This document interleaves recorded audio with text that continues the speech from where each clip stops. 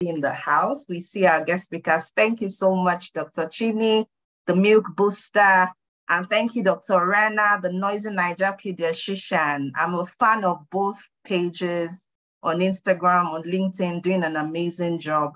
And we're set to have an amazing time listening to them talk to us and address us um, young career moms, you know, trying to juggle this career thing and nursing mother thing.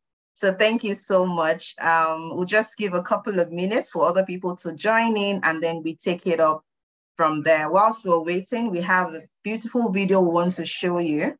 So please sit back, relax, turn on your seat belt. You're in for an amazing ride this afternoon. So in a few minutes, in a few seconds now, the video will come up and then we get on the ride. Thank you once again for joining um, whilst we wait for more people to join. Thank you so, so much. Okay, we'll get the video now.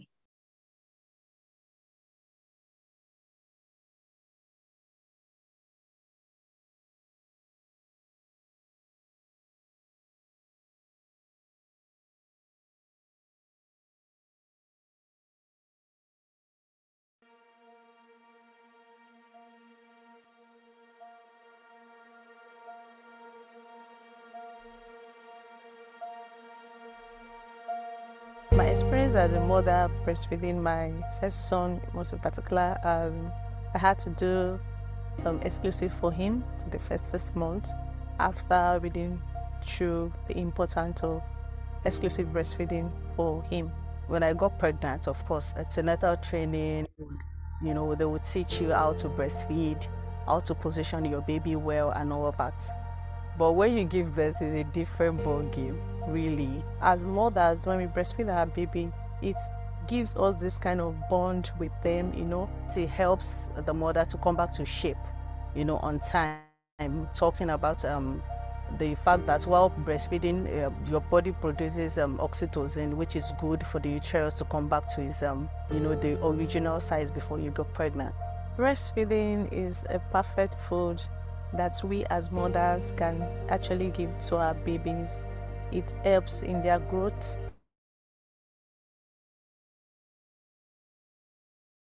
And in their development. I'm happy that I, you know, I did the exclusive breastfeed and I also breastfed even afterwards. So I look back and I see a healthy baby and I'm thankful that I got the support and then I'm thankful that I took the pain to breastfeed my daughter. I know that as working class mothers, it's always difficult for us to do this exclusive breastfeeding for our babies. So that is why we at Wema Bank, we have a crèche where we can come with our babies so we could um, come around to breastfeed them as often as possible to ensure that they um, they have the six months exclusive breastfeeding. There's a there's a room that is very comfortable and convenient for us to sit and breastfeed our babies. Breastfeeding is not a death sentence. Um, breastfeeding is what you give is the best gift you can give to your child to yourself and to the world at large.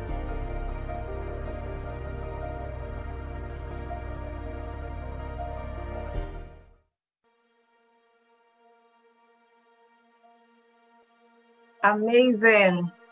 Um, amazing. I hope that we enjoyed that video. I hope that we took one or two um, from it. I mean, so those are some of our mothers, um, also employees of Wema Bank PLC, talking about what the experience is. I mean, today is all about us. I believe that we're going to have more and more women, I mean, especially career women, nursing mothers, you're a businesswoman, all across. This event is open to everyone, whether you're an employee of Wema Bank, whether you're a customer of Wema Bank, the general public. So what I'd like us to do, please, if you're on this call, please share the link to your friends and colleagues, to your sister, share the link to a mother. Today is all about us. We're celebrating us mothers who are nursing mothers, career moms, business women.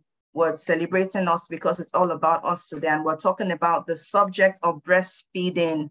And like I said earlier, we have experts in the house who will be speaking to us, sharing their thoughts, sharing learnings. These are thought leaders in the industry. Um, they're both medical doctors, pediatricians, so everything around how to take care of our children, how to cope with breastfeeding, it can be uh, it can be uh, one hell of an experience, and it differs from woman to woman. But again, that's why we've put up this uh, event together to address some of the issues we're going through. So please share this link with another woman who can benefit from this and let's enjoy the session together.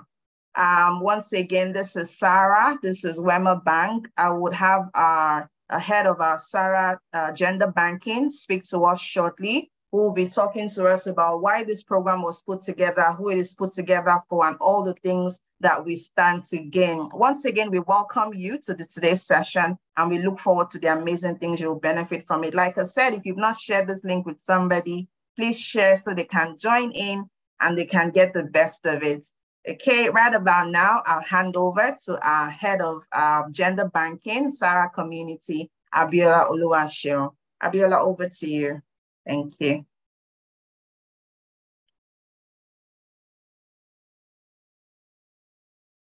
You're muted. Abiola, you're muted if you're speaking. Oh, thank you very much. Um, so um, thank you very much. Um, um, thank you to our doctors, um, Dr. Chini, and of course the noisy pediatrician. We, yeah, you, you two are, are quite a delight on our social media platform, and we learn a lot from that. So basically, um, my name is Abiola, as I was introduced. Um, I work with the SARA proposition of the bank. And basically, this is our approach to banking women uh, as, as a bank, irrespective of your socioeconomic status, there's always something that SARA brings to the table for you. Um, I'm going to just take about two minutes to engage us about what SARA is. Like I mentioned, is our proposition to women, and we have a lot of offerings and goodies for women and not just only women also the kids are also invited to to SARA so basically we offer access to finance as a business owned um, as a female entrepreneur a woman entrepreneur you have access to loans that can cater to your working capital to meet your immediate needs. If you like to buy assets, if you like to buy a vehicle, we also have loans for green finance, etc., that are available for you as a woman and all of these at discounted rates. So instead of the normal, the usual interest rates that you typically get, we have discounted these rates for you as a woman, as a businesswoman. In addition to that, we also offer free health plan because we are mindful of the fact that health is wealth. And of course, whether you're a businesswoman, whether you're a professional, health is something that is paramount to everybody. So in addition to you taking our loans, right, it also comes, which is discounted by the way, it also comes bundled with free health plan. I think that is something very amazing. We also have the Sarahpreneur Accelerator Program. And basically, we offer various skills and trainings, development programs, etc. for women. So this is not even just limited to you as an individual. If you're a business, if you're looking to start a business, if you have an existing business and you want to expand, the SARA Sarahpreneur Accelerator Program is something that you actually need to watch out for. Even this month, we are going to we have a learning series in partnership with Enterprise Development Center, EDC. So please ensure that you follow our social media and do register and prepare to attend. It's going to be a physical program. In addition to that, you know, by just being, we have partnership that gives you access to various health plans by just dialing the code on your phone as a customer, star 945 star 75 as you have access to a bouquet of health plans that are available. And guess what? You don't even have to be a customer. Just dial that code.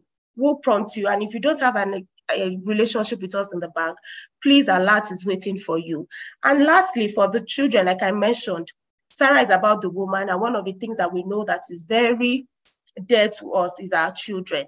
We also have the Royal Kiddies account that offers high interest yielding accounts for children. So basically, if your child is between day one to 12, the Royal Kiddies account is available for them. They can you can open this account for your wards, for your children for with as low as 500 naira, and you get extra start extra 1% um, interest rate, you know, above the standard interest rate. And your child has access to various goodies. So we have the Wema Educational Award, we have scholarship opportunities, we have financial literacy programs and cash rewards available for the children. And of course, during this webinar, we'll be rewarding five mothers who have opened Royal Kiddies accounts today. So please stay tuned and um, enjoy the program. Tayo, back to you, please. Thank you so much, Olu Abiola Oluwaseun. So you've heard it from her. A lot of goodies await us today. You just might win amazing prizes. So please stay tuned to the end of the program, especially if you've opened the Royal Kiddies account. Please ensure to open um, like Abiola has said, there are a lot of amazing opportunities and potentials that await you if you join the SARA community, if you open the Royal Kiddies account. Uh, this is brought to you live by SARA, Wema Bank. And thank you so much again for joining the session. Yes, like I mentioned, we have two amazing guest speakers in the house today. Like Abiola said, they're a delight on our space every time I open my Instagram, I'm looking forward to seeing Dr. Rena's videos or and Dr. Chini's videos because I mean, as a mother of three children myself, amazing um, stories that are being told, amazing things to learn. Every time I'm forwarding the video to my husband, there's just one thing to learn and one thing to practice. And it's amazing that we've had we've brought them into the house today to speak to the larger community. So if you're not yet following Dr. Chini and the Noisy Naija Pediatrician. If you're not yet following the Milk Boosters or the Noisy Naija Pediatrician, search for those handles on Instagram and follow immediately. Also, if you're not following SARA on Instagram, if you're not following Wema Bank, please ensure to do that. All those handles, you need to be following them. So we're getting into the business of the day shortly. I'm just going to read the profile of our guest speakers and we take it from there. Okay, in a few minutes, we'll be hearing from um, Dr. Chini, the Milk Boosters. I would just like to read her profile um, just before then.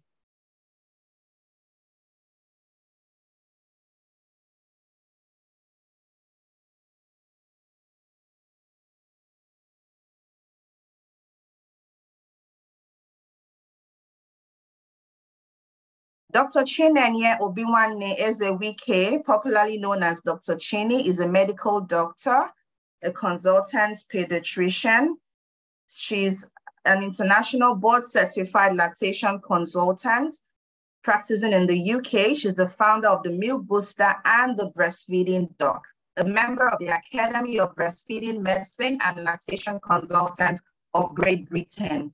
She's a graduate of the Medical University of Silesia, Poland. She practiced as, sorry, excuse me.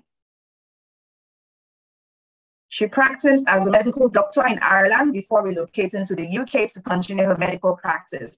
Her journey towards becoming an international board certified lactation consultant, BCLC, and providing professional lactation services started when she had her first child and struggled with producing enough breast milk to satisfy her newborn baby. Dr. Chini felt helpless and imagined she had failed as a mother.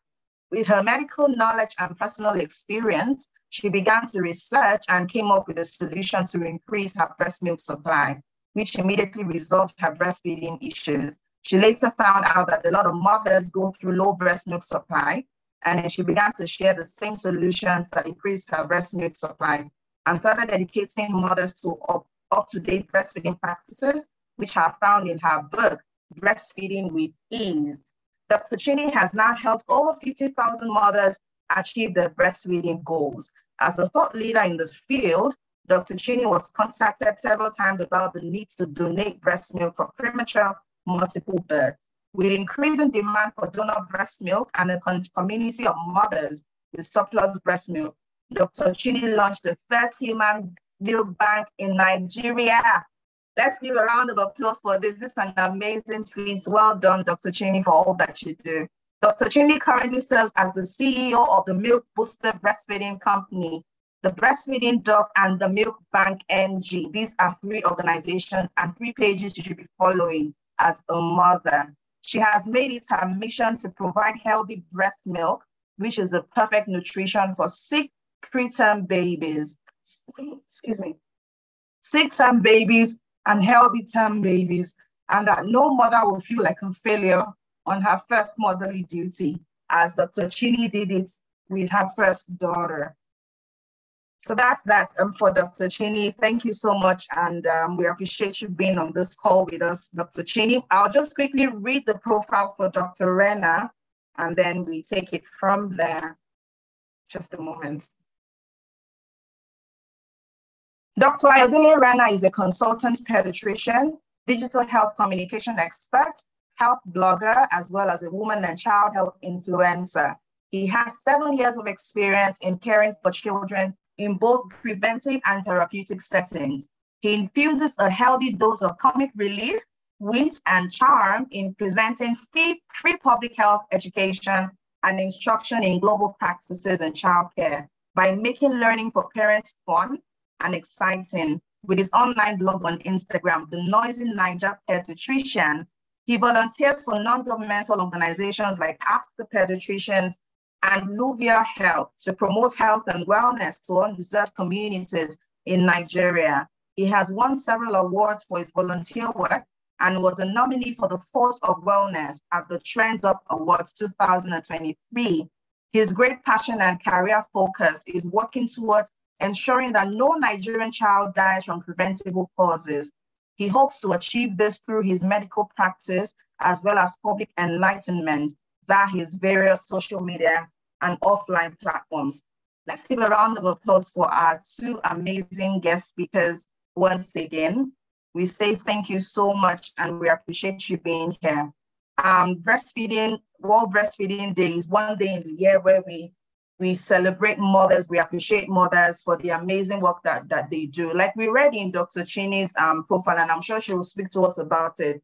It was a struggle taking care of her first child, breastfeeding her first child. And I know that a couple of us on this call have had that experience at some point in time you have um, um, painful breastfeeding, nipples are cracking, the baby is crying and refusing to latch on, you're unable to latch on, your lactation is um, little in quantity, and a lot of other, so many issues. So I know that we have questions already that we prepared for our um, panelists and speakers. And we'll, in the course of their presentation, we'll be asking them the questions. So once again, this session is put together to celebrate you so that we can learn, ask questions, and you know, celebrate the gifts of motherhood and breastfeeding all together. Right about now, if we're ready, if Dr. Chini is ready for us, we'll just take Dr. Chini's um, quick session and then we'll uh, go ahead with questions after. Thank you so much, Dr. Chini. If you're ready, we're also ready for you. Over to you, ma'am.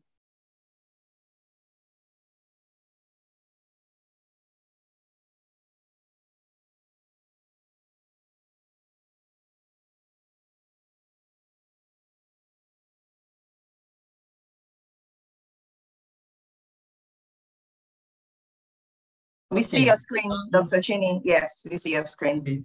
Thank um, you. Thank you so much for having me.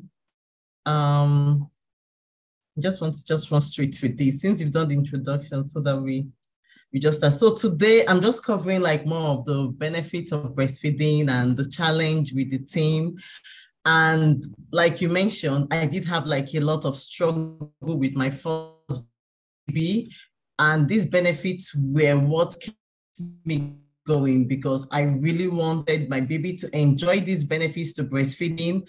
And, and as well, I, I wanted myself to enjoy the benefits from breastfeeding this, but there's just so much that I could share. So what was the benefit um, to breastfeeding to the baby? But before I even jump into this, I wanted to highlight that when it comes to breastfeeding, the benefit is not just only to your baby, the benefit is not just only to you, it's also a beneficial um, act that follows your child for the long run. So even whenever you're breastfeeding your newborn, think about it that what that milk you're giving your child is going to follow your child till their they become a toddler, follow them all the way to teenage age when they become young adults and even as an adult and an elderly person. So this benefit follows through. It doesn't just stop at one phase. So benefits to baby we have here like um, fewer childhood infection. So whenever you're breastfeeding your baby, you're giving your baby all those milk that has antibodies, antiviral, antibacterials in them.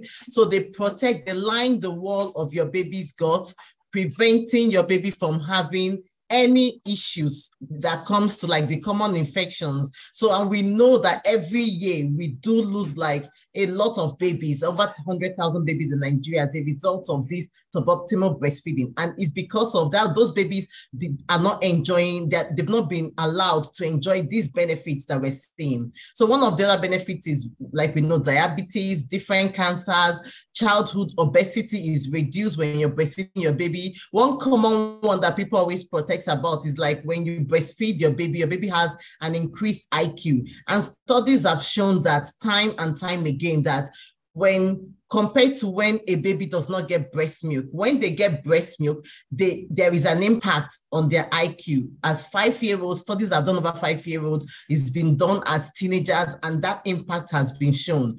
When you give your baby breast milk, you're protecting their cardiovascular, you're protecting, like you're literally saturating that baby with milk that goes across their body. So you find a study that showed like teenagers, and they, they did a study on teenagers and they found that those of them that got breast milk, there was a reduced chance of high blood pressure in them because of they got breast milk as a baby, not as a teenager. So also one of the common things is sudden infant death when a healthy baby just dies.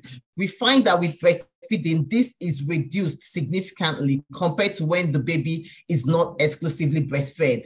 The same thing with allergies. We have babies that have allergies, even those that have um, family history of allergies. Breastfeeding them reduces the risk of having those allergies, having asthma, having um, atopic dermatitis, all those skin and you know health issues that come as a result of you know um, allergy. I'm just going to run through this because of time. So when it comes to the mom, there is a risk of, um, it reduces your risk of developing osteoporosis, it reduces your risk of breast and ovarian cancer, reduces your risk of cardiometabolic disease. So when we're pregnant, there are changes that happens to every pregnant woman. Whether you want to breastfeed or not, your body is going to make that decision for you. So one of the things is that your body is going to start storing more fat cells during pregnancy. And the aim of this extra this extra fat cells is to support your body during milk production postpartum. So whether you like it or not, there will be more adipose tissue stored in your body. And another thing is when it comes to insulin resistance, so we notice all these changes, blood pressure. So all these are like metabolic changes that happen during pregnancy. And when a mom breastfeeds, then she is able to get her body back to the base, the basic, the basal and metabolic state that she was before pregnancy, compared to when a mom decides not to breastfeed. So you can see that when a mom decides not to breastfeed, she stays on that high um, metabolic changes that happen during pregnancy, she stays on it for a longer period of time. And studies have shown that, you know, being on that level for a longer period of time will increase your chance, your, your risk of getting like, you know, cardiovascular issues. So you do, you want that kind of support from breastfeeding your child. You know, it helps with weight loss. I've told moms, breastfeeding needs calories. It consumes much more, a higher percent of calories than your brain does. So all those calories are something that your body is being taken out of your body. The only time, the only thing that will show whether you lose weight or not is what goes into your mouth. And that's why, like, you know, with the milk booster, it's just products that would not make you overindulge. It's not, it's just products that will help you to now get your body to even produce more milk because the more you produce, the more calories you burn and the higher chances you will notice yourself coming back to your pre-pregnancy weight. It helps with postpartum bleeding. So you see that um, when women um, have, their, have their newborn, if they're breastfeeding, it will reduce the duration of that bleeding. But if they're not breastfeeding, that bleeding can go for a prolonged period of time. It helps maternal bonding. And like I mentioned, it will reverse the pregnancy changes. So another thing I was um, I'm going to highlight is the importance of workplace. Sorry, before I jump onto that, I wanted to mention that all of these benefits I listed, you know, they follow your child the same way they follow you. So they keep up with your child as your child is growing. And even like all these um behavioral issues that we see in kids nowadays, autism, ADHD, breastfeeding has shown studies that they are reduced when a mom breastfeeds. So coming to our theme for the year, which is, you know, breastfeeding, how to make breastfeeding and work work. So we have um here importance of workplace support for breastfeeding mothers. And i wanted to highlight the, the importance to the mom to the organization and to the government. So i've always said that if organization really understood how beneficial it is for them when a mom is supported to breastfeed they will all do it. But i guess like the general um, knowledge is that um you know, is, is, is affecting them negatively. So many feel like because the affect, because they have a mindset is affecting them negatively, they do not support it. So for a mom, when a mom is being supported to breastfeed, because imagine you're at home and now you have to go to work. So you're already feeding your baby a specific number of times, you're providing milk a specific number of times. When you're supported at work, like we watched in video, you have like a crèche at your workplace, or you have like a lactation room and break times to be able to pump, you will be present at work. And being, it will reduce absenteeism. And why is that important? Because your child will keep getting that breast milk. The more your child gets breast milk,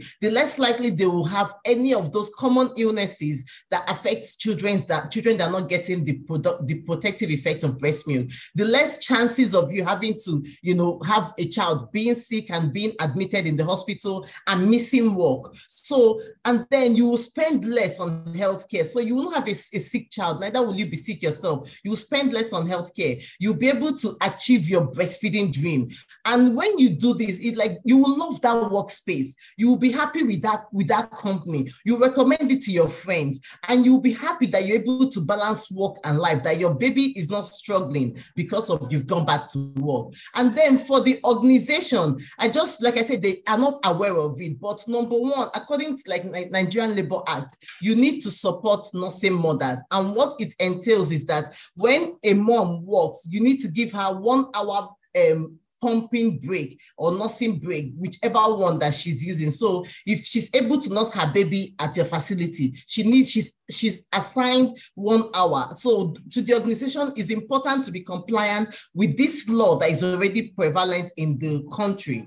And then it gives a positive perception. So when you hear, oh, this company supports breastfeeding mothers, it will encourage more mothers to go and it will encourage more people to come to that company. Like we want to open a bank account now because we know that really they are supporting breastfeeding mothers. It's a cost-effective investment. So that means when a, a an, an employer recruit someone, the cost you pay in terms of recruitment, in terms of training, you would not waste that money just because of you found out that your employee, the employee you just recently employed is 36 weeks pregnant. So you would not lose that because of you um you've already you've already have all the, you already have all these policies on ground.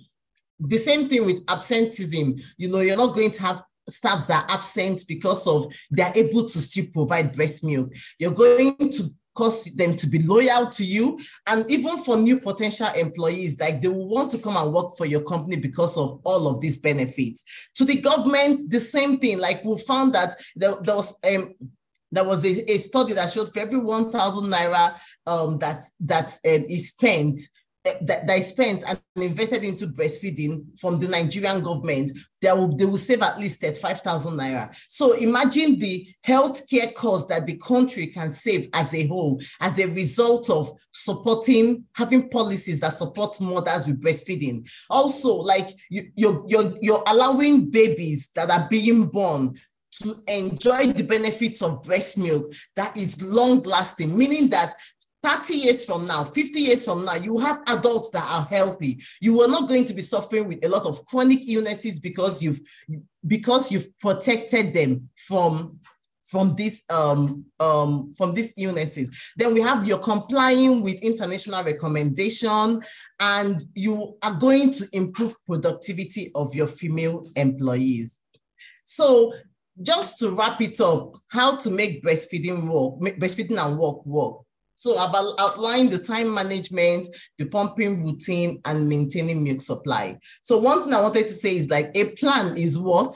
A schedule is when, and it takes a plan and a schedule to get things done. So first thing is you must manage your time. You must have a schedule.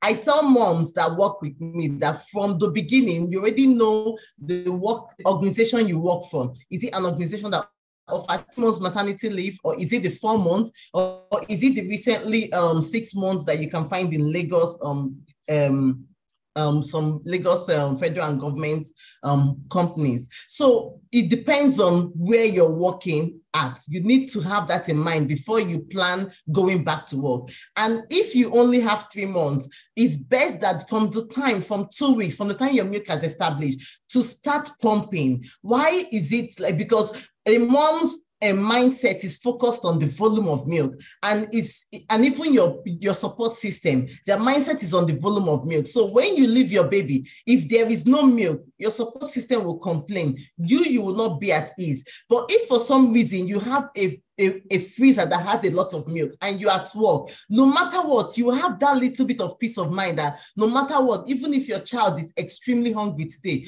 there is enough milk in the freezer. So when I tell a mom to start from two weeks, add one extra pump session. If you if you want to nurse your baby for most of it, that is fine. But considering that you must go to work, so that baby specifically needs you to start introducing bottle at that early stage. And you can just deal with one bottle feed per day or two bottle feeds per, day. You just want your child to become accustomed to also getting breast milk via bottle. And when you're doing this, you know, do it the right way that you're pacing the feed, that the child will not become um, so ad, um, attached to the bottle and now refuse to nurse at the breast because you want a child that will be able to do both and do both easily. So when a mom is doing this one pump session, one extra pump session every day, whatever milk she's getting, she's storing, and then other milk she will pump, she will give to the baby. She will get somebody else to give to the baby. All of this is in preparation for what will happen when she goes back to work.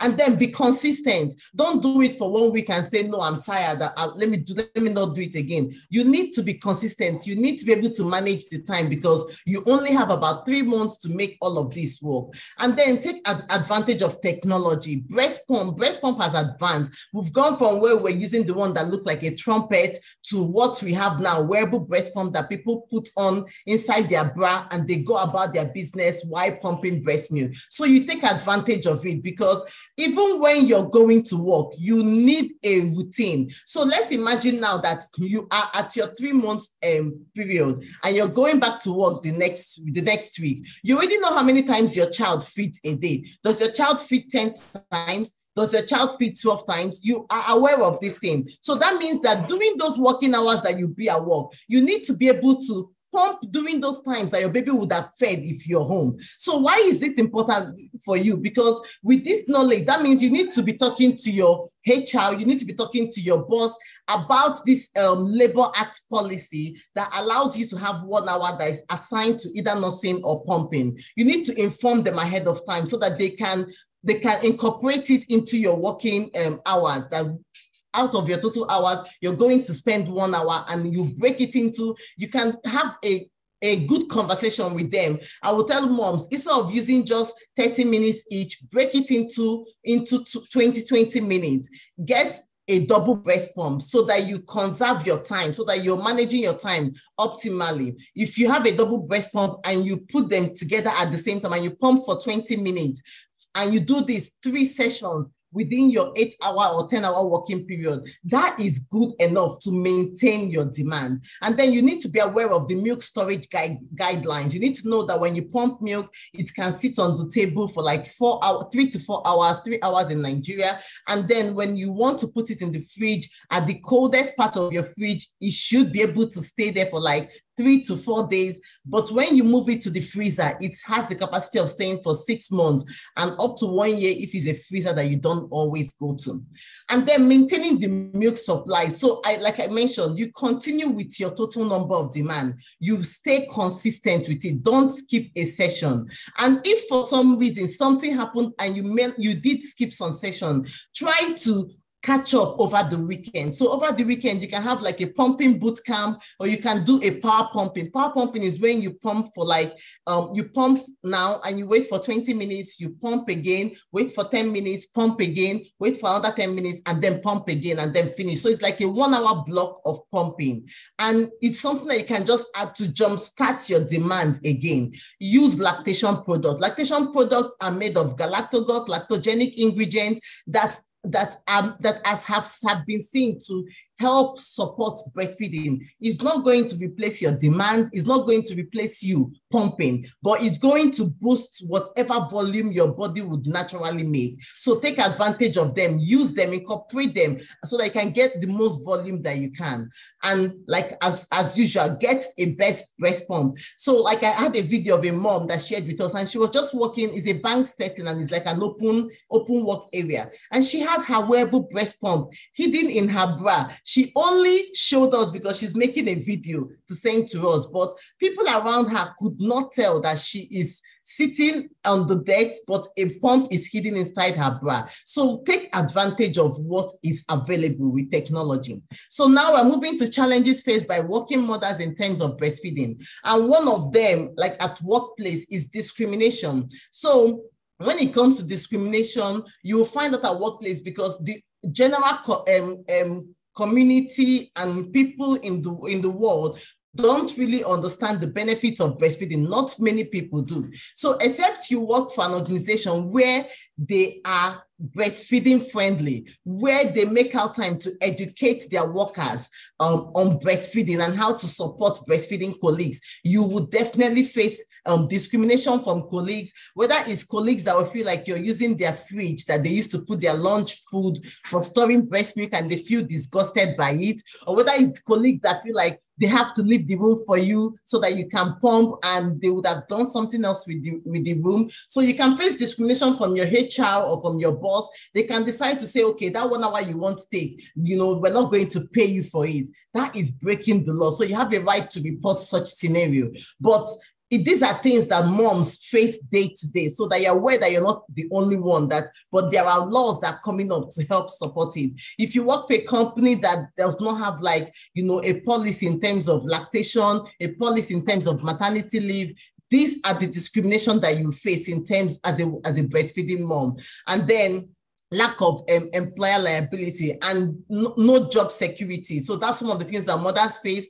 That when it comes to like um, when when they see that this woman is still breastfeeding after she has returned back to work you know people start questioning her her e- efficiency they start pointing fingers and before you know she doesn't feel secure anymore in her job. She might lose her job or they might advise her to resign. So these are things moms are facing. These are challenges that real moms are really facing. I had a mom send me a message and she said that her working hours does not give room for a break. So imagine that. And this woman lives abroad. So it was very challenging to hear it. She works for the health healthcare department but there is no time for her to take off or pump. So inflexible working hours that's another challenges moms face. So you find that moms these days, there's always a thing that you notice that mothers, by the time they have kids, either they, some of them end up staying at home, some go back to work and then they don't continue, some work and then they find the, another alternative remote job, and then some just decide to start a business or something. So, and it's because of these challenges that are thrown to them. So, to be able to have a working environment that will allow you to be maybe off a certain period of time, work remotely other times, that whole um, you know, supportive thing that you need in terms of working hours. If, if you have that, then it's great. But many people do not have that, and you have to speak up and ask for it. So some workplaces don't offer the short breaks that I've told you. So you have to speak up based on the law that's covering you. And then hectic schedules. And then, like I said, like work um work um busy work. So let's say you're working in a place and then there's a deadline to meet up. You need to meet up with this deadline now, now, now. And then as a as a breastfeeding mom, you're not you're taking one hour to spend on pumping. It will definitely somehow affect. But in in the thing is that that moment that you finish pumping and you come and sit down, you are very much productive because of you've taking away the stress of in your head about feeding your baby. And then privacy. Many working places are like an open field, both male and female colleagues. There isn't, there is no privacy, there is no lactation room, there's no breastfeeding space if it's not even a room, there is for lactation. There is lack of amenities. Some places don't even have a refrigerator or a sink that is not in the toilet. Like some places don't have a place for a mom to just um, wash her things or wait to just, she can just keep her things, all of those. And then the fact of male colleagues that um, if it's a, if it's an open space, you're a bit worried about them being around you and you pumping. So these are things that I've seen mothers face as challenges. So either it's from human factor, or either it's from the space itself, or either it's from the commitment in terms of hours. Moms are facing this, and I believe as a nation and, and as a group of people, we can always do better. Okay, so like I mentioned, for moms, if you're facing any of these, follow the Labor Act, speak up on it early. When you finish speaking on it, ask your HR ahead of time. Do not just wait until you show back to work. Talk to them, have that difficult conversation because we do not want to have it, especially for places you know that they don't offer. But if not, please, when you're looking for a new job, find a place that supports breastfeeding because we need it. Thank you, everyone. Thank you. Dr. Chini, thank you so much. You were spot on. There was a lot to learn. I'm sure that everyone on this call has speaks a thing or two. Particularly when you were speaking, it was I was just reminiscing. It was bringing back memories from me because for each of my three children, I, I, I breastfed exclusively for six months. And it took me back to the struggles of packing the bottles, packing the breast pump. I'm looking for a place to pump during work hours. I'm looking for where to wash. And I, I can just, in the last things you were saying, I can imagine how tough it is for moms, you know, if they work in places where that facility is not is, is not readily available where you can hide in a place and pump. I remember then when uh, the job I was on when, when when I had my first child, I would lock myself in the there was a small kitchenette. I'll lock myself, I'll put a shelf. Everybody will be knocking. I'm busy, please, guys. No one can come in. I remember then, then the, my second child, okay, the same organization where I had my third child. I mean, luckily I had an office. So I'll get up and lock my office. And um, once I'm pumping, everybody will be hearing the sound from outside. So everybody knows once she's pumping, you don't go near the office. Interesting times. I just it just took me back down memory lane. And I'm really grateful for how practical your session was. A lot of mothers can relate. I can relate mothers, intending mothers, expectant mothers can also relate. Uh, just like Dr. Chini has said, she's shared a lot of valuable insights on how we can manage this process. It is tough enough to be a woman. Add to being a woman, add being a career woman is already tough enough. Then add to that being a nursing mother, you have to deal with uh, productivity at work. You have to do with taking care of the home front, your baby. Sometimes they're sick, they're not feeding, you're not lactating well, and all of those issues. And I'm so glad that you're able to, I mean, you're able to do justice to all of those issues that mothers are going through. Um, we have some questions already for you, but we'll take them at the end of Dr. Rena's session so that we can manage our time. Please, if you're on this call and you also have questions, please, in addition to the questions we already have from the um, re re registrations, pardon me, please drop your questions in the chat box. Either you're on Zoom, you're on LinkedIn, you're on YouTube, put them in the chat and then we'll take your questions after the session. Um, we're trying to run very fast because of time. Thank you so much, Dr. Chini, for your session. I learned a lot, even though I've been through this process several times. I'm still really grateful for everything that you've shared. Thank you so much. On that note, we'll be moving over to Dr. Rena, the Noisy Naija pediatrician. Um, if Dr. Rena is ready for us, we're ready for you, sir. And we'll hand over to you. Thank you so much. Hi. Hello, Motola. Um, can you hear me? Yes, sir. We can hear you. We Fantastic. can hear you. All right, great. So um, let me just thank Dr. Chini um, for that really um, profound presentation because uh, she has made my work significantly easier. And of course, Ochini is very grounded and um, she is an expert in what she does. And I like to commend her for the work with the Milk Booster because being an entrepreneur and being a mother is no easy feat. So well done. Thank you, um, SARA by Wema Bank for organizing this. I know that um, Wema Bank is very invested in mothers and realizes that mothers are important for society. Let me start off by saying that um, childbirth is not a luxury. Childbirth is a necessity for the society. So on the one hand, while one might feel like, oh, mothers are giving birth because they want to give birth, but the government and society must view childbirth as a necessity because this is the basis upon which the future of the society is built. We're not going to pluck our population from thin air. we are getting the population that will produce the, the next inventions that will decide our future from these women who every day risk their lives to make sure that these children are here, that these children grow well, that these children become the future that we need them to be, and that we remain the most populous Black nation in the world. But does the government view it that way is the question. Does the government see that childbearing is a necessity and that protecting women and protecting the children that they give birth to are absolute necessities? The answer is that I don't think so.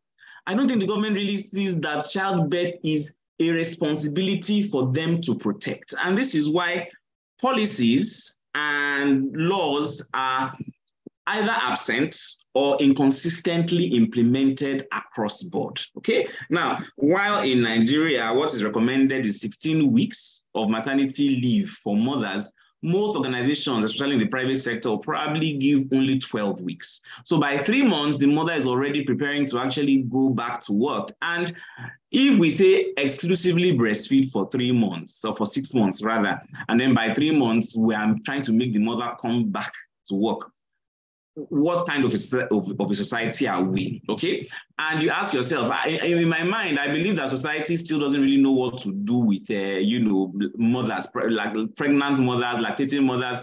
Do we make them work? Do we not make them work? Do we pay them? Which is why you find out that in the United States, actually, there is no federal policy that says that mothers that our maternity leave should be paid. And this is the so-called Western society that we sometimes look up to for certain things. But there's no federal law in the US that says that mothers should be paid. So while in Nigeria, we see that, okay, laws exist, 12 weeks of paid um, maternity, uh, 16 weeks of paid maternity leave, but not all mothers are the same. Some work in civil service, some work in the private sector, some work in the informal sector, where they, they don't even have companies that are registered. So how do we protect these mothers? So for the civil service, there are very clearly written laws based on federal or state stipulations.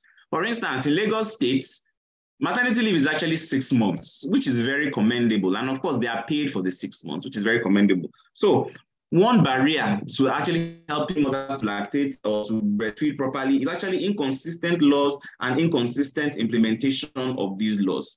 So what can we do? One, I read an example of uh, in Bulgaria where um, what they do is that the mothers actually get 13 months of paid leave, maternity leave. And that's probably some of the one of the best in the world. And that pay comes from social security, okay? Meaning that it is the government that actually pays for them to do this. So this means that the government is budgeting and planning for women who will give birth and who will have maternity leaves to get pay for 13 solid months that they will be at home. So in Nigeria, are we planning? Are we budgeting? Do we know the numbers that are giving birth? Are we even budgeting for the people that are around and available? Talk less of those who are even yet to come. So these are some of the challenges that we have. So from the policy level, these are the barriers that we have. So what can we do? Number one, we, we need to begin to advocate and this is one of the platforms that we can use to do this. So please, anybody here, if you have any relatives or husbands or relatives that are in government, let them know that Dr. Rena said that women are not doing us a favor by giving birth. Women are doing a duty. They are making sure that the, the, the country goes forward. And so the government needs to plan and to budget so that provisions can be made for women who are going on maternity leave or who cannot be paid by their organizations or whose organizations don't cover, you know, pay and um, with pay policies that the government can actually subsidize. So even if the government, even if the um, workplace is giving half of the salary, let's the um so even if the workplace rather is giving half of the salary, let the government pay the other half. And I think that would be very valuable in helping mothers feel like, okay, I'm doing something and I'm being supported in that way. Now, let's talk about um, enforcement of these laws in private sectors. Um, unfortunately, there isn't any regulatory body that can come and say that, okay, we recommend 16 weeks, but you are giving them only eight weeks. Why is that? So we need to advocate more and, and, let the government know that, look, these laws need to be implemented more across board and fines and certain sanctions can actually be given to organizations that actually don't comply with the minimum standard. So there should, there should be a minimum standard and this organization should not go below that. Any organization that actually goes above the minimum standard should actually be rewarded, should actually be commended with some sort of recognition, some sort of reward by the government to say that actually, even if it's tax rebates, to say that you are doing this for these mothers. And so we appreciate that you're actually making an, this environment a safe place for mothers and they should, they should be given incentives for that. Okay, and we should advocate for that. Now, the unions and um, so, so I, I, know that in a lot of private sector, you know, fields, the um, unions are um, not really existent like that, you know. but where the government is involved, the unions, I'm not sure that I've really heard any unions really talking about breast milk and breastfeeding. Of course, salaries are important, salary increments are important. Giving us the money that you owe us for per diem of, uh, or for one training that we went for is very important. But who is talking for the pregnant women? Who is talking for the mothers who are lactating and who are actually supposed to be getting time off and as Dr. Chini said and spoke about, you know, things like um, flexible work hours, the one hour break that the mothers are supposed to get, presence of things like a special room for um, expression of breast milk, things like a presence of creche. An organization doesn't have to have all these things, but I think there should be some basic and some minimum, you know, um, level that these organizations should reach below which they should not fall and, and at which point the union should actually say, okay, so what exactly is going on? And these are things that the HR that's responsible, let me let me qualify it properly. That responsible HR should actually take up. So, so I think good HR is all about anticipating what the problems might be. And I do believe that sometimes um, HR can be a little bit, um, and not deliberately, they, they genuinely can be a little bit blindsided and they might not really realize that these are the problems. And so please feel free as a mother to state what your problems are in clear writing and in clear terms to say that, okay, this is exactly what I need, this is what I'm going through, and this is how I feel that I would be supported. If they now decide not to you know provide any of these things that you requested for then if you have a union you can take it up with the union or move higher than the hr because your voice matters. Um that being said uh, let's talk about um, support for the mother. We all know that um, support is very important. Uh, somehow um, and this comes to the society. A lot of mothers have complained to me on my page and of course i've spoken with you know, a number of mothers that when it comes to Omugo, the, the, the grandmothers, whether it's your mother or it's your mother-in-law. Sorry, I hope I'm still audible. Adela. Yes, yes, Dr. Rena, yes. we can hear you. Fantastic. When it comes to Omugo, uh, the mothers-in-laws or the mothers actually usually come solely for the baby. So they are only concerned with taking care of the baby, bathing for the baby, rubbing palm oil on the baby, the usual things that you know they normally do at Omugo. But the mother doesn't get any help. And so the mother is still running around. She's still cooking, probably still going to the market, probably still doing the things that the mother should do on top of the whole issue of breastfeeding. And this is a mother that will probably be relatively stressed, especially if the um, social dynamic between herself and her mother-in-law is a little bit um, tense. So this is a mother that isn't relaxed. And of course, you know, milk flow is not going to be, you know, as, as good as it should be. So when we say that you are, you, one should come and help a mother, it's not just about bathing the baby. It's about helping the mother with chores. And unfortunately, I think we get it into our minds, you know, as a society during Omugo that, you know, she's, the, that whoever is coming is coming for the baby. No, they're coming for both the mother and the baby so that the baby and the mother can breathe you know, so that they have that opportunity to actually, um, you know, get that that free time, and that will actually help her to lactate and and face the duty of um, lactation a bit better. Um, we, I mean, Dr. Chini has spoken very extensively about workplace, um, you know, workplace policies that actually help breastfeeding. So let me just itemize some of them once again. So breaks to breastfeed and express are very important. And of course, she's not going to go and, uh, you know, breastfeed and express inside her car or the toilet. So those, those are the last places that she wants to go and express. I mean, innovative solutions like the um, wearable breast pump are absolutely brilliant, you know, as far as helping the um, process of lactation and expression, you, you know, um, easier. You know, that, that's very key. Um, special rooms because you don't want to be sharing again as you mentioned that idea of sharing a fridge with when people are putting their regular food and then there's breast milk in there have a dedicated fridge okay for breast milk. That is what one would advocate for organizations to actually put in place. Pressure daycare within the um, office premises or as close to the office premises within walking distance as possible is also very important and will go a long way in supporting mothers to actually balance work and breastfeeding. Flexibility of work hours is also very important, such that if she needs to work from home, let her work from home. If colleagues need to be shifted around, you need to take a shift or another shift, or you need something needs, needs to move, give preference to the lactating or to the breastfeeding mother, or to the nursing mom, such that she gets the shit that she desires, as opposed to people who aren't necessarily lactating or you know doing those sorts of things. As uh, difficult as myself, because you might some people some people might say, ah, hey, eh, Bobby, so I have my own uh, problems to deal with. Well, we understand that, but as much as possible, if within the limits of reason, give preference to the um, breastfeeding mother for shifts and make her work schedule a bit more flexible. So um, plan, plan, plan. Uh, plan before the baby arrives what it is that you want to do to help yourself to support breastfeeding. So whether you are going to get a freezer that is dedicated to expressing breast milk and that you're expressing your breast milk or pumping at every given opportunity and then storing in the freezer, just make sure that you've made up your mind and that you are making and taking steps to make sure that you actually actualize the dream of exclusively breastfeeding or breastfeeding your um, baby. Let's talk about the fathers. Now, uh, paternity leave, rather controversial. Some fathers get two days, some fathers get one week, but the highest I think I've heard about is a week.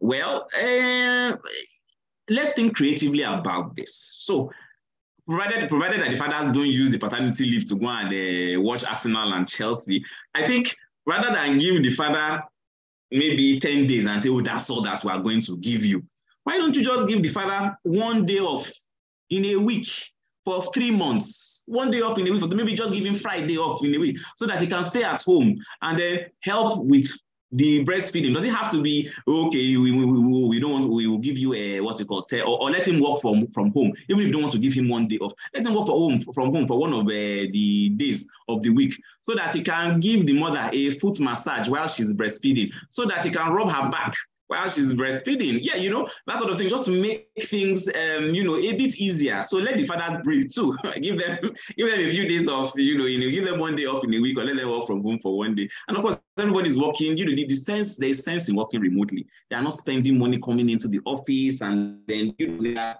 um, I, know that some people are a little bit doubtful about the productivity of people that work from home, but they can be as productive as you need them to be. It should be about meeting targets. Eh? They'll meet their targets. So just send them and and allow them to do that. And I think it's go a long way actually in helping. So please allow the fathers to have um what's it called paternity leave as much as possible. So we've tackled this from the issue of policy, from government, from society. The mothers as well have to plan.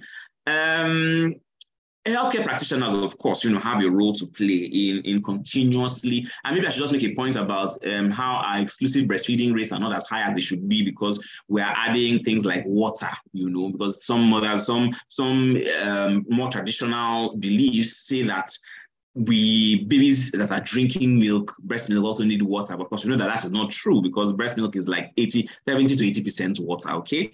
So they don't need any water. So our breastfeeding, exclusive breastfeeding rates can actually increase. And of course, the benefits have already been expounded by Dr. Chini. And so we, we need to be able to tackle all these barriers and obstacles to breastfeeding by innovative, creative, and sometimes simple solutions that you wouldn't even believe that how come we didn't think about this? Why didn't we consider this all this while? And it, it isn't a, a matter of um, antagonizing anyone because I think when people hear unions, people always believe that, oh, unions are here to antagonize us. But no, unions are there to make sure that everyone's rights are protected because one day it might be a uh, person A that is pregnant and lactating or pregnant and breastfeeding, and then the next day might be person B. And you know, and person B, whether you know she is for or against the unions, will be protected by favorable laws that are enacted by advocacy and union agitations. And so with these few points of mine, I hope I've been able to convince you and not to confuse you that obstacles against breastfeeding in the workplace and breastfeeding for, for working moms is something that can be achieved with simple and creative solutions. Thank you very much. Amazing, amazing, amazing. Thank you so much, um, Dr. Rena. Thank you so much for your session. Very practical, um, and also building on what Dr. Chini had shared with us. Very practical. I, I, I almost I giggled at the part where you talked about uh, mothers, mothers-in-law coming for Mugo because every time when I go on your Instagram page, you're either you're sending one straight bullets to mothers or mothers-in-law or grandmas with your white powder and your funny dances and all of that. Interesting to watch. You're such a delight to watch. Thank you for all that you do. Honestly, Dr. Rena, you don't know how much value you've added because um, you made some of these very big issues, big discussions, you've made them very easy to relate with just by looking at the dance moves and the white powder on your face and how you're funnily nodding your head to one song. You're passing across a beautiful and valuable message that every single person can relate to. And that's how you know someone who's passionate about what they do. You know, being a male, the, uh, you're, you're, I mean, as a man, um, you're a pediatrician,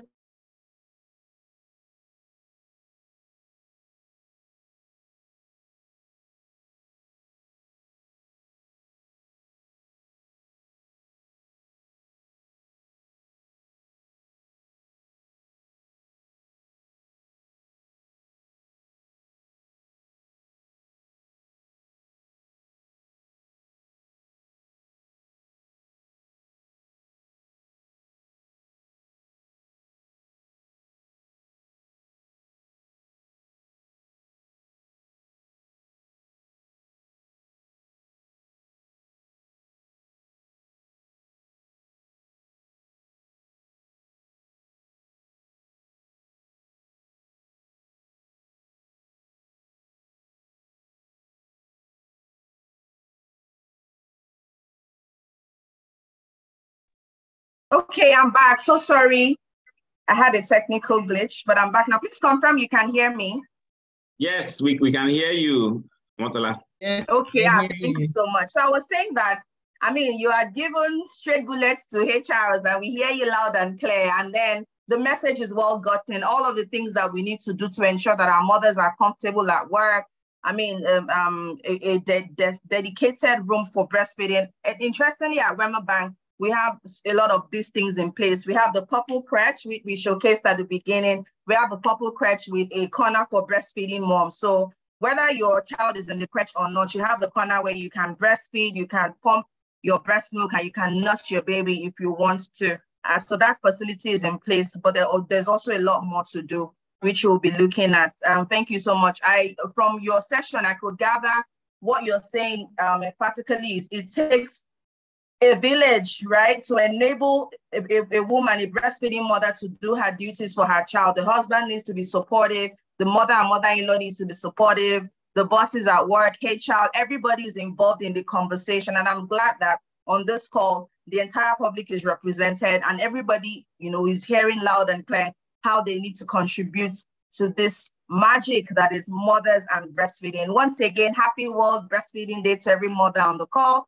And thank you so much, Dr. Rena. So we have a couple of questions or that have already come in, um, both at the registration point and on this call. Please, to everyone on the call, if you'd like to drop your questions, please use the Q&A button to drop your questions and we'll take your questions.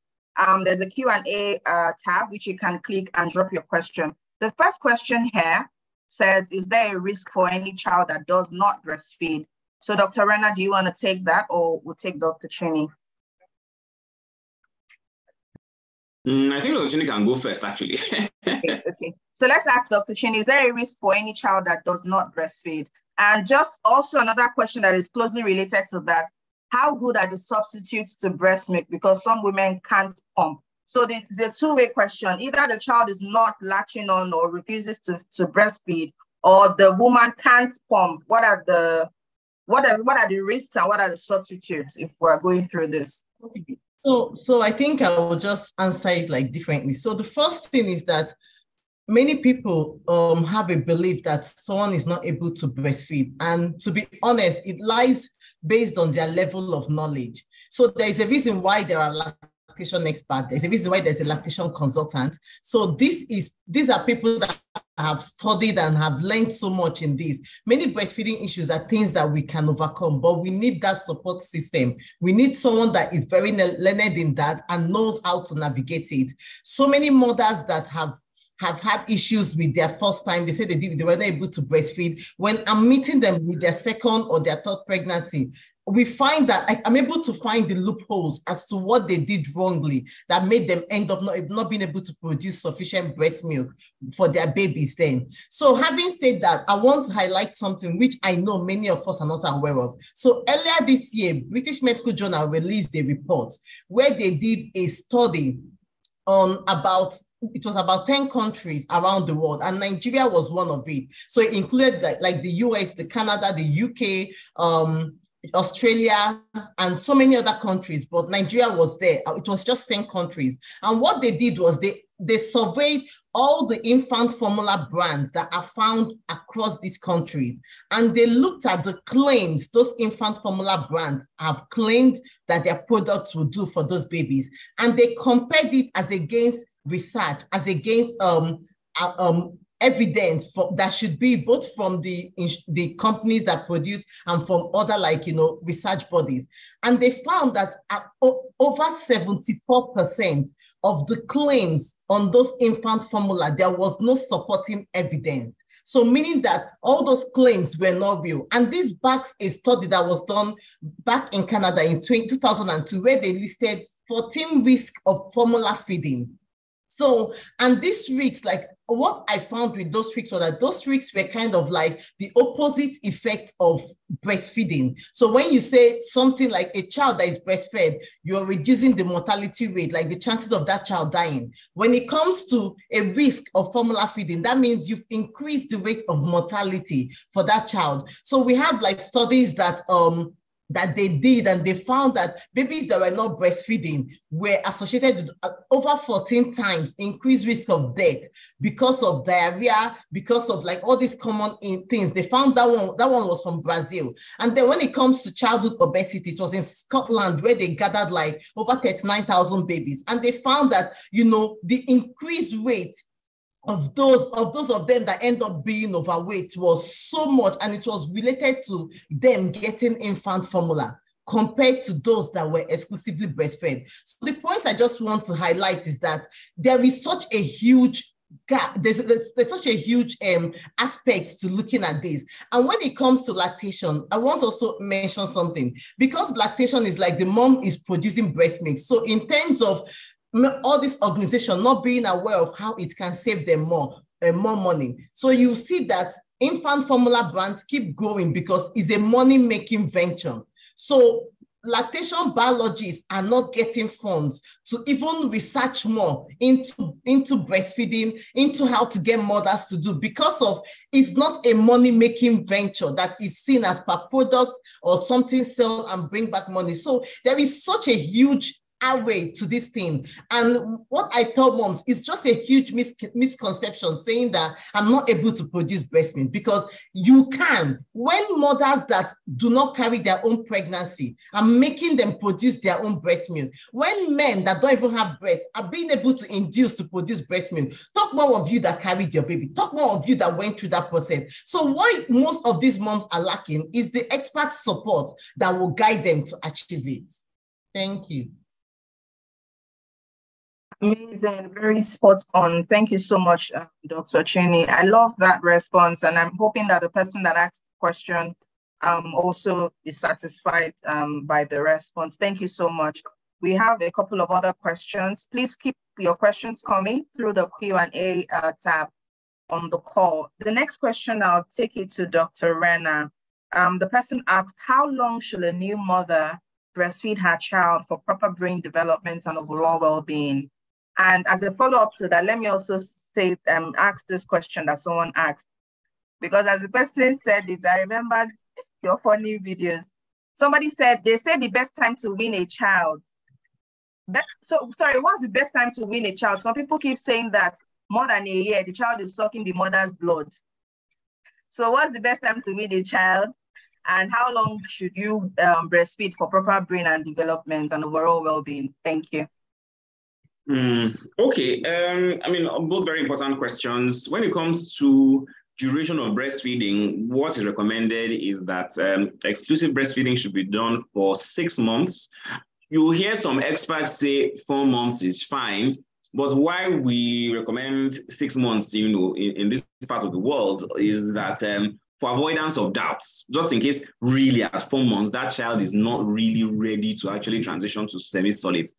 Some children are ready to transition to semi-solids by four months, okay?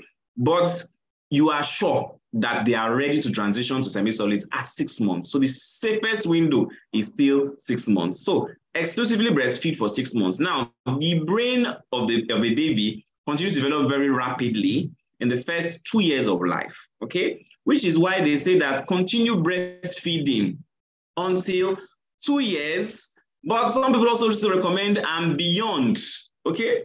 So the simple answer is that if you can, breastfeed up until at least two years. So exclusive, breast, exclusive breastfeeding for six months, add complementary feeds, which is the semi-solids at six months, and then continue to breastfeed until baby is at least two years. But if you are a superwoman, you can continue till four, yes, if possible. But um, so that being said, what was the second aspect of the question? I've forgotten. So the person said they said after one year, you are the, the child is sucking the woman's no, blood. Is it true? No, no, that is so not true. That is so untrue. If the child is not sucking anybody's you always dispelling your videos. The, the, the, yeah, the child is not sucking anybody's blood. The other thing I heard about is that if you actually breastfeed your child beyond one year, they won't walk on time. And I'm like, ah, now wow, you know, how, where do we get these things from? Anyway, but it's not true. It's um, exclusive breastfeeding is not going to delay walking. Baby is not sucking your blood. And now, in terms of when to stop breastfeeding, it is really up to you. So while I've been giving all these recommendations, you know, at the end of the day, you really need to individualize what you want to plan. So for instance, if you are breastfeeding and then you now get pregnant, there's no contraindication and there's nothing wrong with you actually being pregnant and breastfeeding. But I don't expect a woman who is having extreme vomiting in the first trimester, who is vomiting every single thing that she smells, to be breastfeeding anybody. So you need to individualize and then know your body and say that, okay, can I continue to breastfeed despite the fact that I'm pregnant?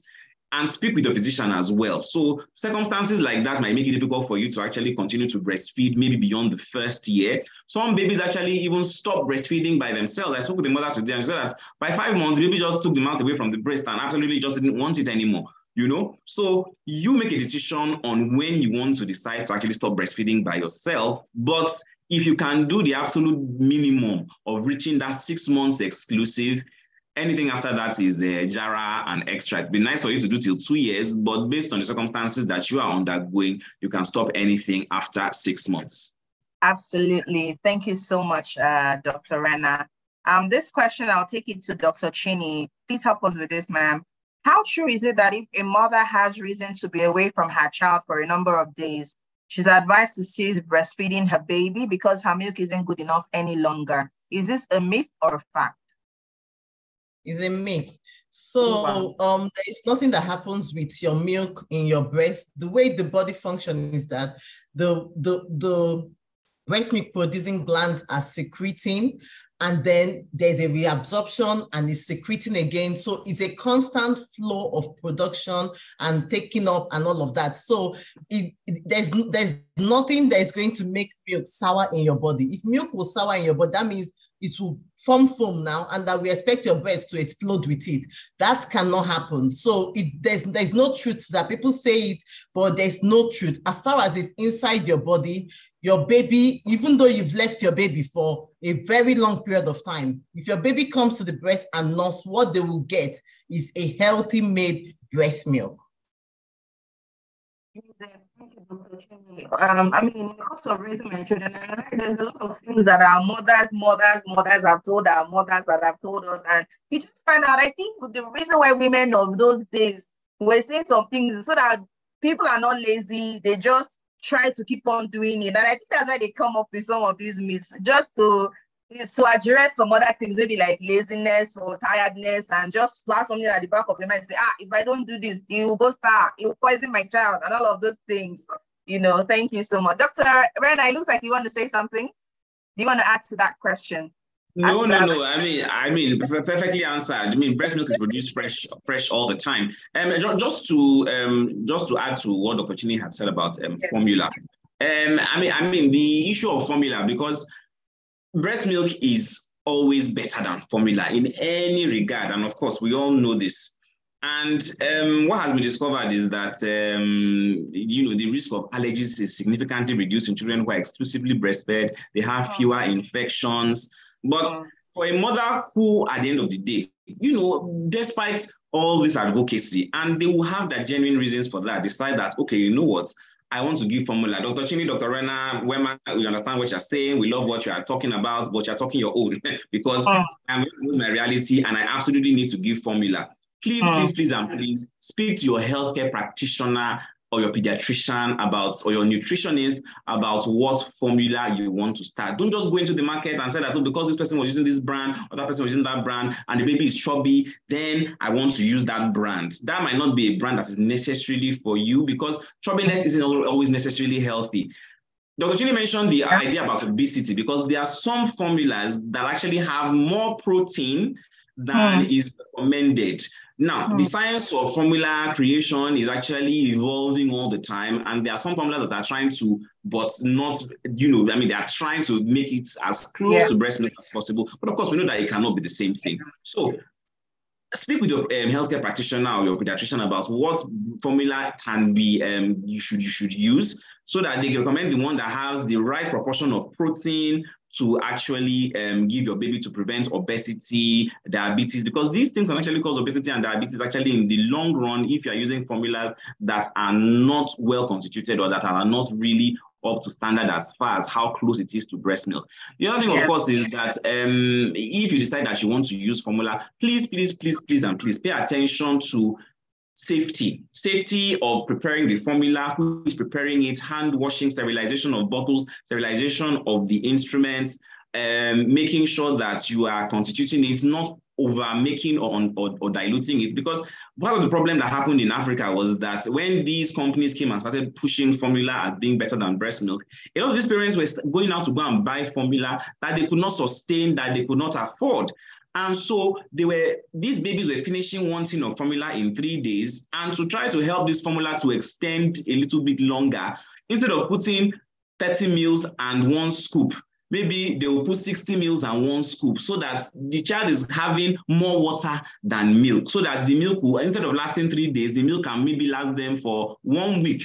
But these children were coming down with malnutrition and they were having diarrhea and we were wondering why. It was imp improperly constituted formula because they couldn't afford to sustain buying that formula. So if you can, you know, they, we call it AFASS, you know, in the, um, what's it called, in the medical field, it must be adequate, it must be feasible, it must be available, and it must be safe, okay? So you must prepare it in a safe way, it must be available, you should be able to afford it, and so if you must do formula, please make sure that you met all these criteria and speak to your pediatrician about the formula that you can start. Thank you. Thank you so much. Dr. Rena, before you go, um, before I go back to Dr. Chini, there's a question closely related to what you just said. My baby is losing weight. Is it appropriate to give artificial milk to a month-old baby? So I think the concern is this lady is trying to exclusively, exclusively breastfeed, but the baby is losing weight. Why? Should formula be the solution? Thoughts, sir? Um, uh, so, so, of course, you know, off the, all the top of my head, of course, my first advice would be speak, speak with your healthcare professional, speak with your pediatrician, I commend you for, you know, I mean, noticing that, you know, baby's losing weight. And by losing weight, I certainly hope that you've actually done a weight and baby was maybe say five kg at Not this just weight. looking, right? Yes, not, not just looking at the baby. Yes, not just looking, but actually there are objective measures of, okay, I've done the weight at this point in time. I did it two weeks later and baby had actually lost weight. If that is the case, then of course, baby needs to be examined very carefully. If you know you are breastfeeding and you're doing breastfeeding only, breastfeeding only should actually allow the child to gain weight adequately. And one of the reasons why a child might not gain weight adequately, despite the fact that the child is still being breastfed, is the fact that the child is actually not getting enough breast milk. Maybe because the child either there's a poor Yeah. Large or there is poor product estimates of knowing how many wet diapers baby is having in a day. By one month of age, your baby should be having at least six wet diapers in a day, okay? At least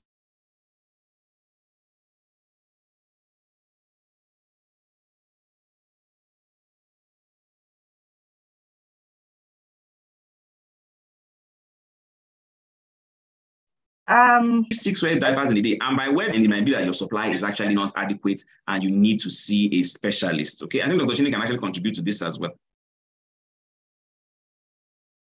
Okay, thanks a lot. Before you come in, Dr. Chini, um, I want to read out a question that is closely related to that one. I mean, Dr. Rena already answered some part of it, but just before you speak to it, let me read out that question. I have a six-week-old baby which is being exclusively breastfed, but is not gaining weight. Her birth weight was 2.6 kg and just 2.695 kg at six weeks. But baby looks healthy, but I'm worried. What can I do? So in six weeks, the baby has only added 0.095 kg. And this mom is worried. What can she do?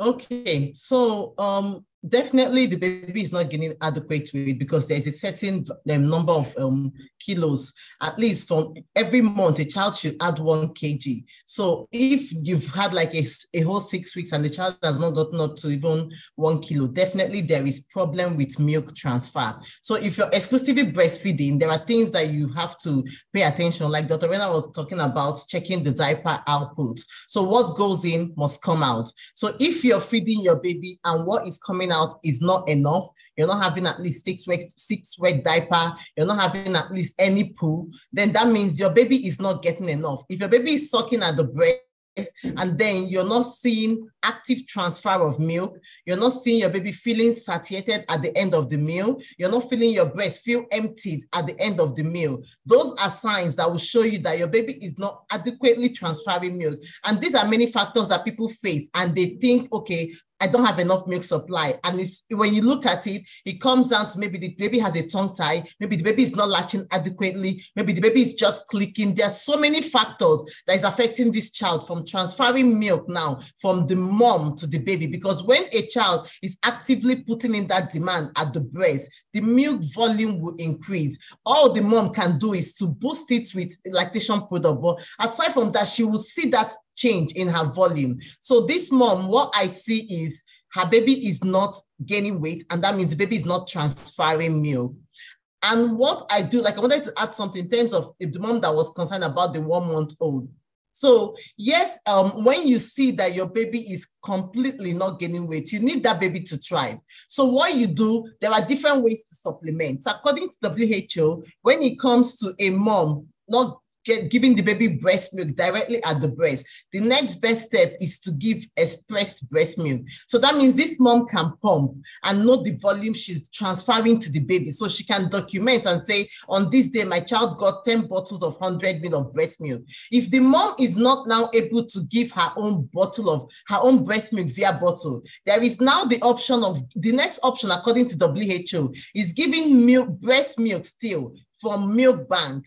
So milk bank being that you're avoiding the informal sharing of milk, you're giving milk that has gone through screening both from the donor and screening from the milk itself, and the milk has been found to be completely clear, that it will be the third option. Then when these three options are not available, that's when the next option comes, which is supplementing with infant formula. And like Dr. Rena said, you need at all of these steps, you need support from your healthcare healthcare practitioner. You shouldn't be making these decisions alone by yourself.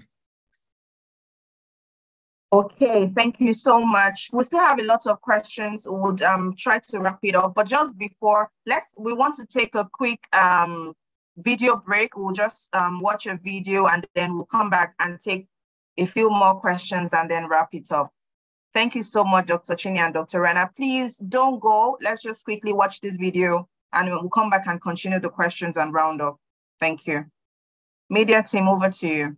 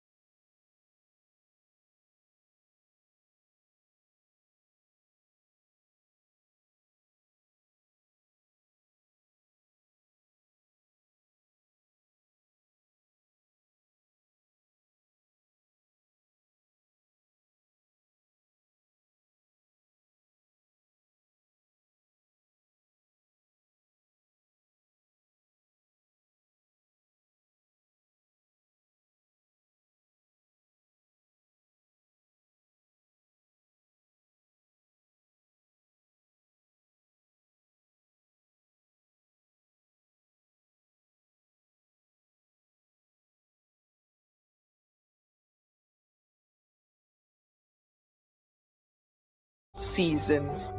I am your sister. I am your friend. I am SARA, the beginning of better things for you. SARA by Wema, for women who want better.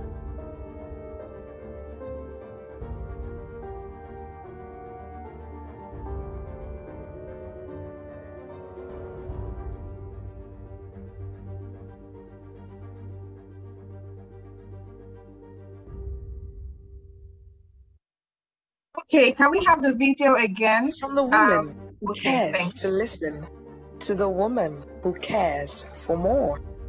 You are a queen. Life is your kingdom. And this is your time to reign. You deserve wings from every dream, a clear path to every destination, an opportunity for every vision, and an ally through all seasons. I am your sister. I am your friend. I am SARA, the beginning of better things for you. SARA by Wema, for women who want better.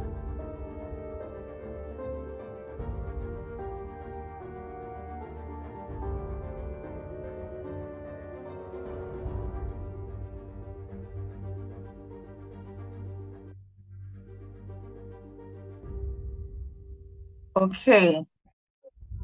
Um, From the woman who can.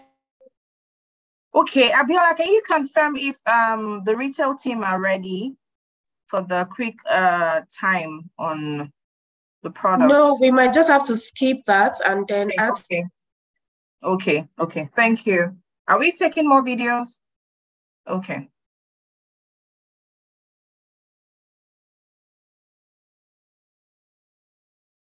Okay. All right, all right. So we'll just take two more questions.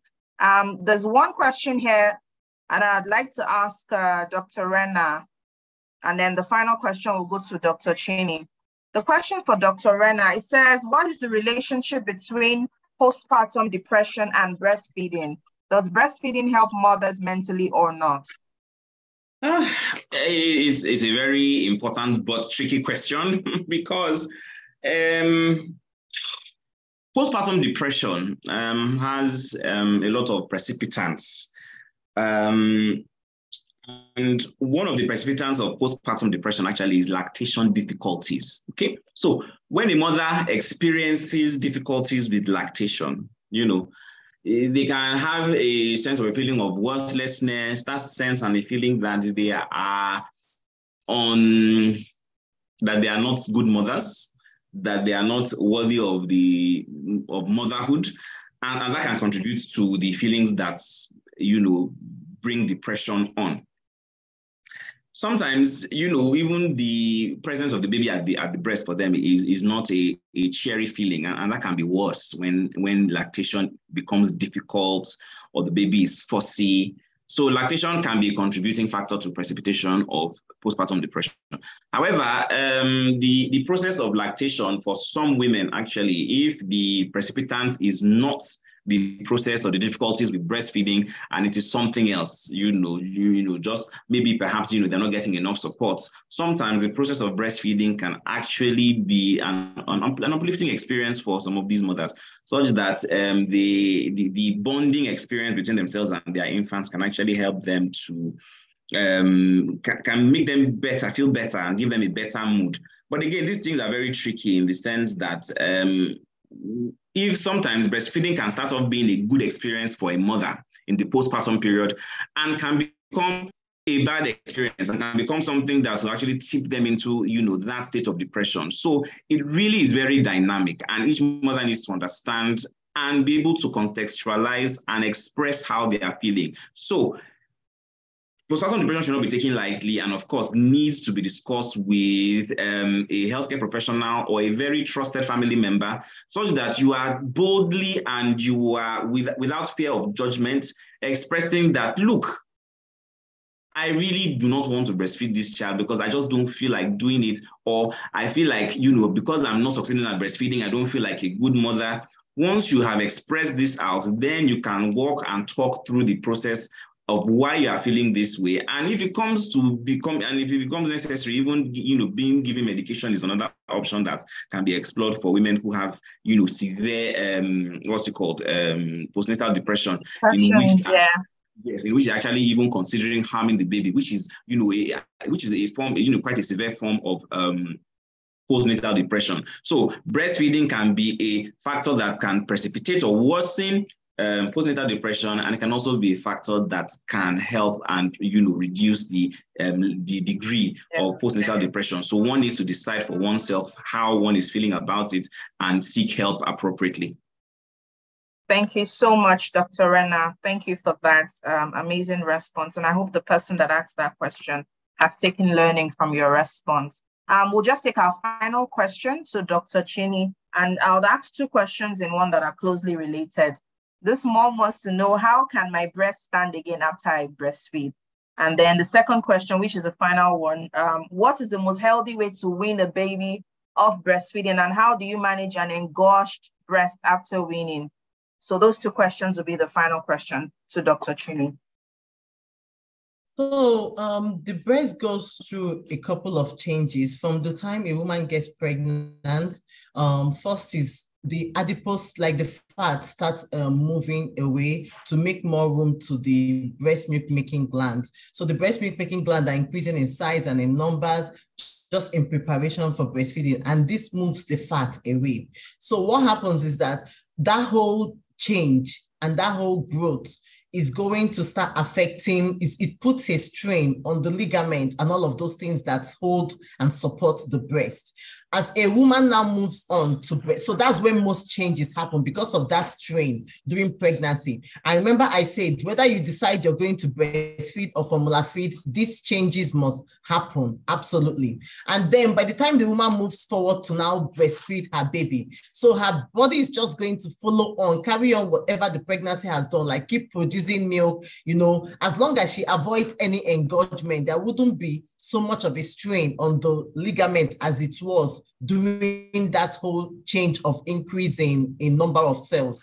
So when this has happened and a woman goes through this process, by the time she ends her breastfeeding journey, the natural thing that will happen is an involution where these breastfeeding making glands begin to eat them, like begin to die. The cells begin to die. So begin, they start reducing back to what it was before pregnancy. And when these cells begin to die like this, it now gives room again for those fat cells to come back. So if you're a mom and you're like at this stage where this pregnancy has has caused a change in the way your breast look. You just need to be patient to finish up because it takes at least six months to one year after you've completely stopped breastfeeding for those fat cells to begin to come back to fill up. So you really would not know what your breast will look like at the end of that journey until you get there. So, and other things that people can do during this whole process is, especially during pregnancy, wear a supportive bra that keeps your breast, like, you know, supported so that the strain on the growing um, glands on the ligament is not severe. Those are the things you can do. Afterwards, when you've eventually weaned and off breastfeeding, you can exercise. So exercises that help build like the chest muscles help as well with breast shape. So the other question that you asked was about um, winning. So how to win um, in the right way is gradually. Any um, any any you know urgent winning where you just have to just abrupt stop of breastfeeding is not recommended reason being that you do not want to have that engorgement so the aim is to avoid that engorgement that comes with breastfeeding because the only accepted period of time where, when you can have a physiological engorgement is the first days of, of newborn, like after you've had your baby and your milk comes in. Anytime that you feel engorged afterwards, that is like full and that way is pathological, meaning that it can lead you to mastitis, it can lead you to abscess, and you these are the things we don't want when it comes to breastfeeding. So what we want you to do is to do it gradually. Take off one, one, one session per, per day, take up one session per week, depending on how your child is reacting. And also know that, you know, winning is a both, is like breastfeeding is a mother and child relationship. So you also have to consider based on your child as well. Because some babies, like, you know, they are quick to win. Why others need like a preparation. So gradual winning is the best. Put distraction and take off one feed session. Put distractions um, during those times so that the child can extend the time that it takes for them to feed again. So that's the best way for a mom to win. And when a mom ends up seeing any engorgement, something like you know painkillers and a cold cabbage leaf, applying it on your breast can help relieve with that. Thank you. So, so much. My personal experience with me, um, when it comes like that, I just express. So I notice when I'm when I want to wean my child, of course I do gradually, like you mentioned, and then um I don't feed for a while, it becomes engorged. I express it, I trust it away. The more I express, the the less, I mean, it gets reduced, the, the supply gets reduced, and that has worked for me. Thank you so much. Um, a question just came in on cancer. I just wanted you to quickly touch on that quickly before we wrap up. I would also have um, a quick talk from the retail team on Royal Kiddies and uh, SARA. Please, what is the best thing to do to also, what is the best thing to do to ensure we are breast cancer free? And does breastfeeding reduce breast cancer? Does it reduce the risk of breast cancer, Dr. Chini? Yes, breastfeeding reduces the risk of breast cancer, even for a mom that has a history of breast cancer, maybe from the mother or the grandparent. Breastfeeding reduces the, the risk, but the key is that the longer you breastfeed. So when we sit down and calculate how much, how long you spend breastfeeding, the long longer the total amount is, the higher the chance of you reducing further. Like, I don't know how if I'm speaking English correct, but like if you breastfeed longer, you reduce the risk even further. So try to breastfeed yeah. much as you can to reduce okay. your risk even further. So that is just what I wanted to say. Sorry, um, just to, to follow up on that question, this thought just popped in. So what then is the fate? So for mothers that um in their lifetime, you know, never get to maybe have children or breastfeed, does this mean they're at higher risk of cancer? Yes, I mean, I'm because this study, yes, yes, because this study is done in relation to other people, the entire. So you're studying um, women that breastfed for this long period of time compared to those that didn't and those that breastfed less time. So it's, it, the benefit comes with the actual act of breastfeeding.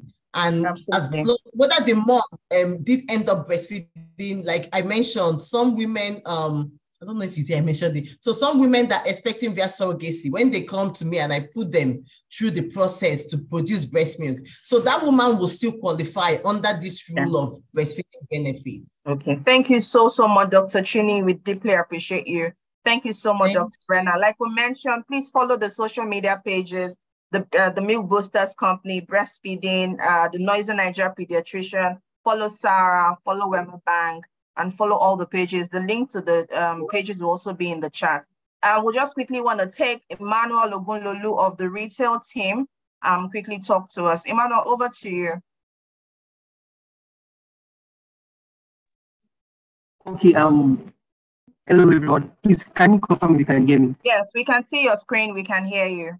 Go ahead. Okay, yeah. So I don't know if I'm the only, uh, aside from the doctor that I've spoken already, I'm the only male here, but even being the male, I've had a lot of um, learnings to take from this um, this event, and it's really a good one that we're pushing out to people here. So just like it has been said already, we have a product that would also speak to our children. That is Royal Kiddies account. And with the Royal Kiddies account, we understand that it's important for um, parents to have a plan for their children like we know it is it's possible that when you give birth to your child, you would have a plan that you want him to study at a tertiary institution outside Nigeria. It's a good time to start saving for your child early enough now, rather than waiting till that time. So with Royal account, you're not just saving, oh.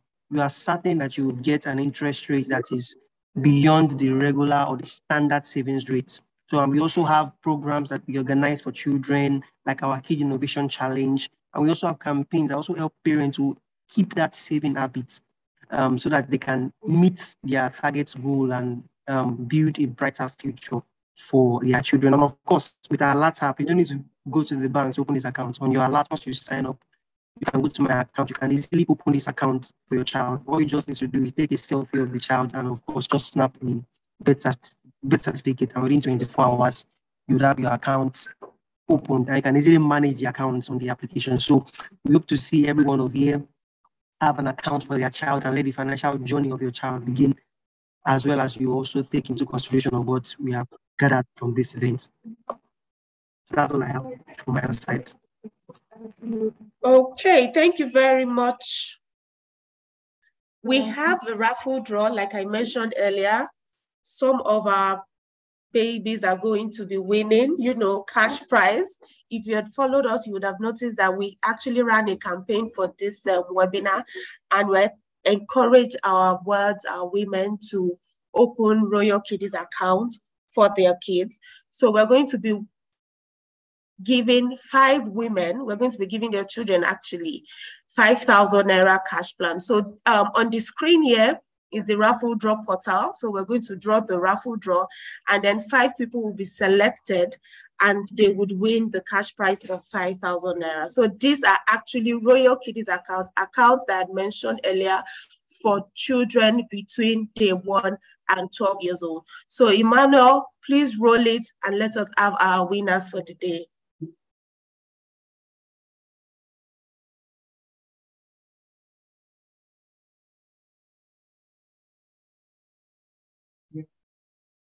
Thank you very much.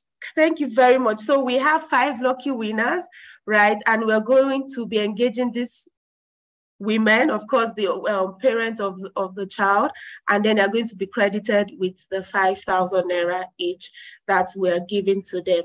So thank you all very much. These are so many benefits that you can actually benefit by opening your a Royal Kiddies account with us at the bank, open for your children, your ward, your dependents, your nieces.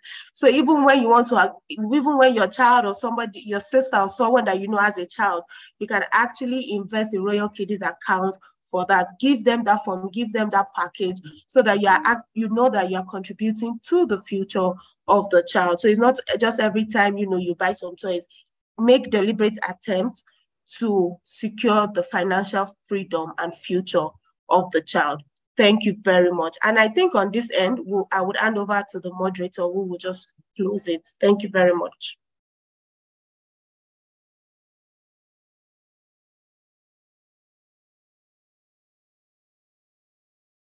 prizes from the draw and thank you for putting this together, um, SARA community.